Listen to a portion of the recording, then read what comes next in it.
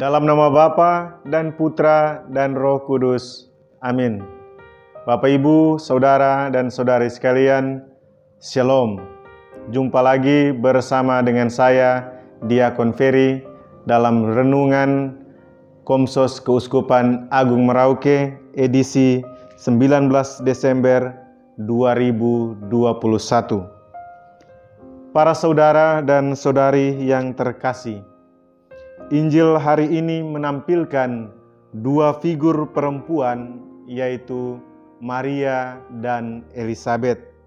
Mereka berdua adalah figur perempuan yang turut serta terlibat dalam karya keselamatan Allah di dunia ini. Ketika Maria mengunjungi Elizabeth, saudarinya, dan ia memberi salam kepada Elizabeth, dan Elizabeth mendengar salam Maria, melonjaklah anak yang ada di dalam kandungannya, dan Elizabeth pun penuh dengan Roh Kudus. Maria tidak datang seorang diri mengunjungi Elizabeth, tetapi Maria datang bersama dengan Yesus yang masih ada di dalam kandungannya untuk mengunjungi Elizabeth.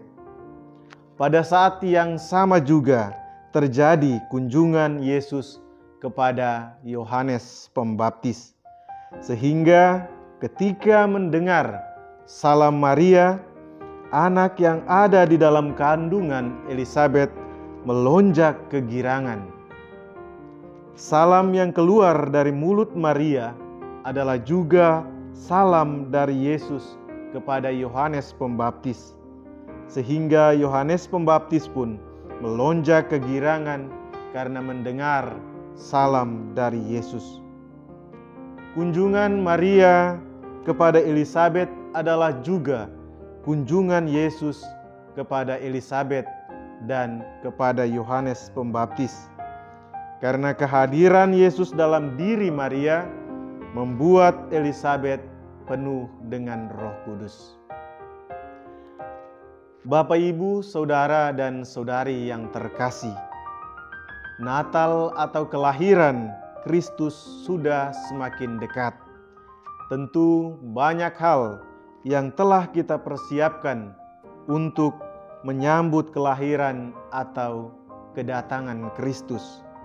Dalam masa persiapan ini, tentu kita juga mempersiapkan hati kita, membersihkan hati agar Kristus datang dan tinggal di dalam hati kita, atau Kristus lahir di dalam hati kita, sehingga ketika kita berjumpa dengan orang lain, orang lain pun bersuka cita, sebab bukan kita saja yang berjumpa dengan mereka, tetapi Tuhan juga berjumpa dengan mereka dan orang yang kita jumpai penuh dengan Roh Kudus. Sebagaimana ketika Maria mengunjungi Elizabeth, saudarinya, Elizabeth begitu bergembira dan dipenuhi dengan Roh Kudus.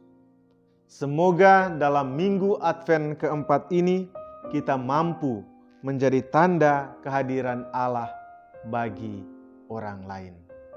Amin dalam nama Bapa dan Putra dan Roh Kudus.